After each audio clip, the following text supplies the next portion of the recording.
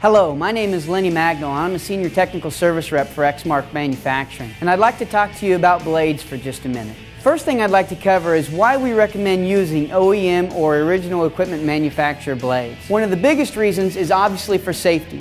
These blades that we produce are designed specifically for our machines.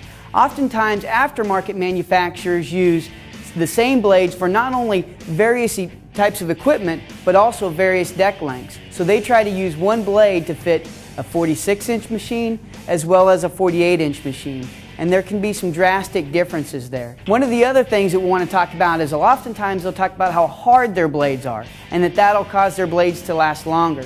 That may be true, however harder blades are also more difficult to sharpen which can reduce the quality of cut and another thing is, if the blade's not giving, then that means it's sending that damage back to other components on the machine, whether that be some of the more expensive components such as the cutter housing, the belts, or even the engine of the machine. I'd like to take a moment to talk about the various blades that Exmark offers for all of their machines. Each blade has a specific condition that it'll perform well in. But each machine that comes out of the Exmark manufacturing factory comes standard with what we call the notched high lift blade.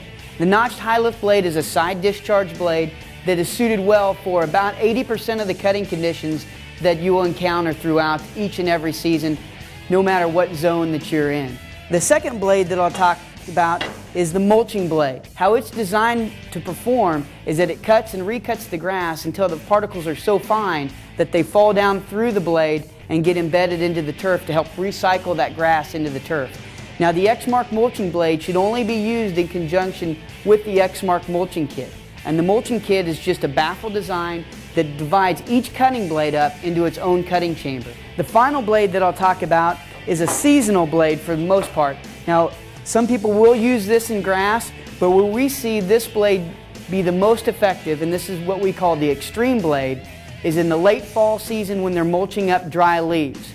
So even if you don't have a mulch kit and you want to pulverize those leaves into the smallest pieces possible, these little fins on our extreme blade will help do that and yet still you don't have to install the mulch kit and you get that fine mulch performance. And there are some other blades such as 3-in-1 blades. We also have medium lift blades.